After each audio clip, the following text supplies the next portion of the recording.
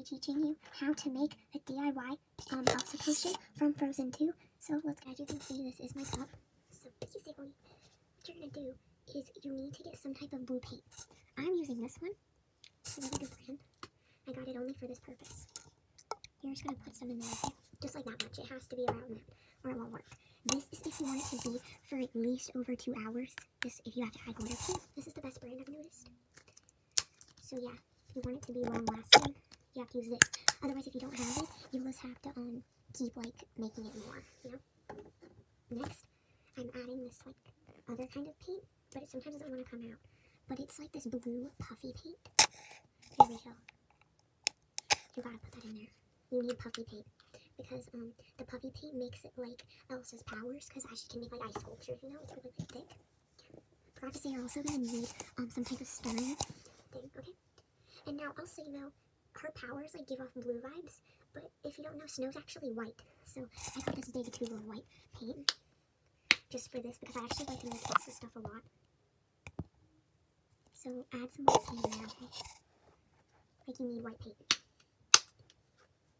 Okay, so this is what we have so far. It really does give off Elsa vibes already, which is a good start. Now, I have this blue washi tape. I'm just gonna take a strip of it off, okay? It doesn't have to be washi tape. It just has to be any kind of tape. And if it's clear, then you need to like get a marker and color it like blue, okay? Or it won't work, because I've tried regular tape, and it only works when you like color it. So you're gonna put that in there. That's for the ice sculpture she makes. Next, what you're gonna need is, sorry guys, I'm looking for it. I have all my stuff over here. And you have to do this in this order, by the way, or it will not work. Um, where is it? Oh no. Okay, gonna get. Oh, here it is. Struggling. Okay, it.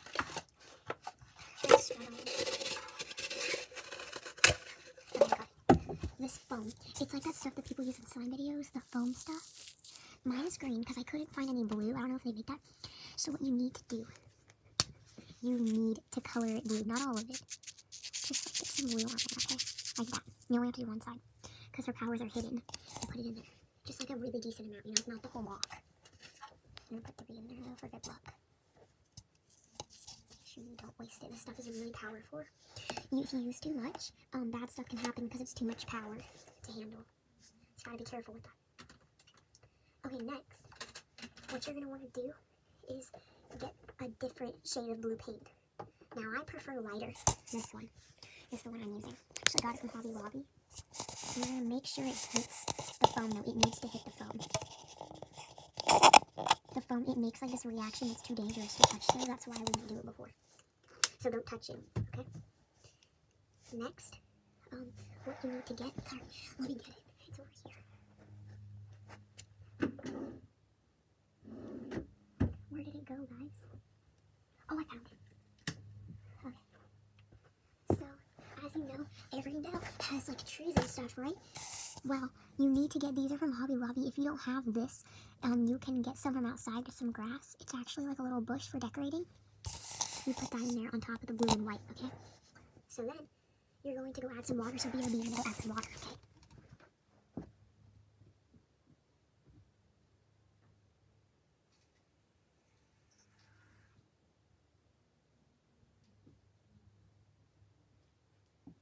Guys, I'm back.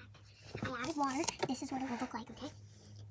So then, what you're gonna want to do is you're gonna need to find some type of string. This is the one I'm using because it really reminds me of Elsa's powers because she like gives off white and blue vibes, but gold is like means magical, you know?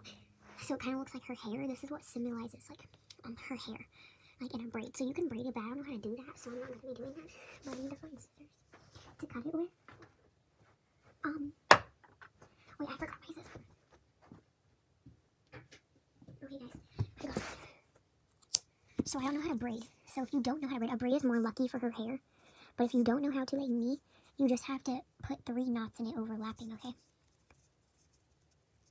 Like you're tying your shoes. I just learned how because it gives off like a braid type vibe. Um, yeah, see how it kind of looks like a braid? So you're gonna put that in there, okay?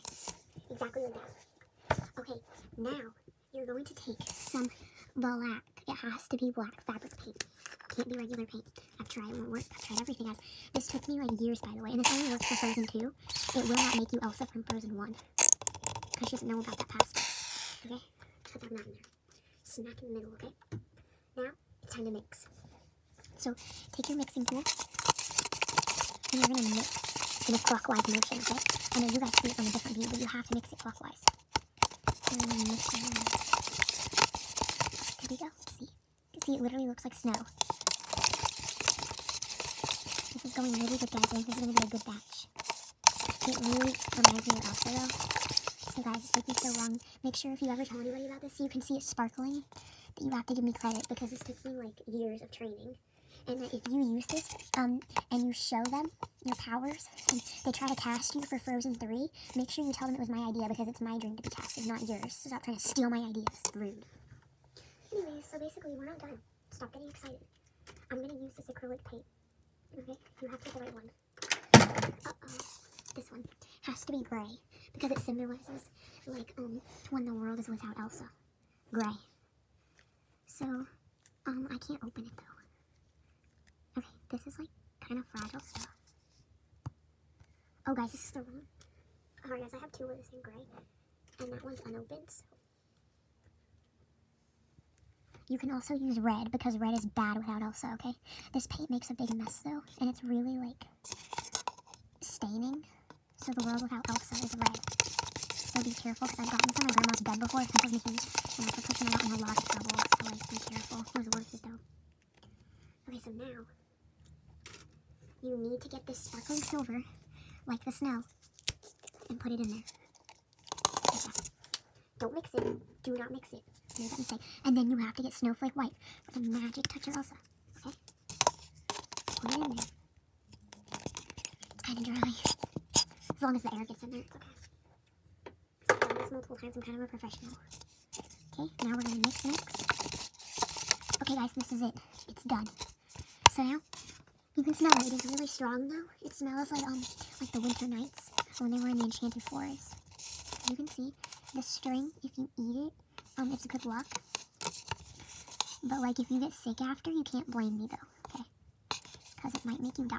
So don't actually do that because I don't want to get sued and get grounded again. But like, you know, that's only for me to do because like you're not supposed to eat hair, but I like to, so it's fine for me to eat it. But like, what you're gonna do, okay, is at night you're going right before you go to bed, your bedtime, five minutes before bedtime. You're gonna put this on your nails and paint your toenails with them, okay? So I'm not going to right now because I already have some on. And when you wake up, you will start to like feel weird and you'll have this song Let It Go stuck in your head. oh, Sorry guys, the smells gets me excited. I'm already starting to morph into Elsa right now. And then when you wake up, you will be Elsa. Your hair will start to get into a braid. You have to put your hair into a braid, and wear your dress. Next thing you know, they'll be casting you for Frozen 3. Make sure to give me credit. Bye.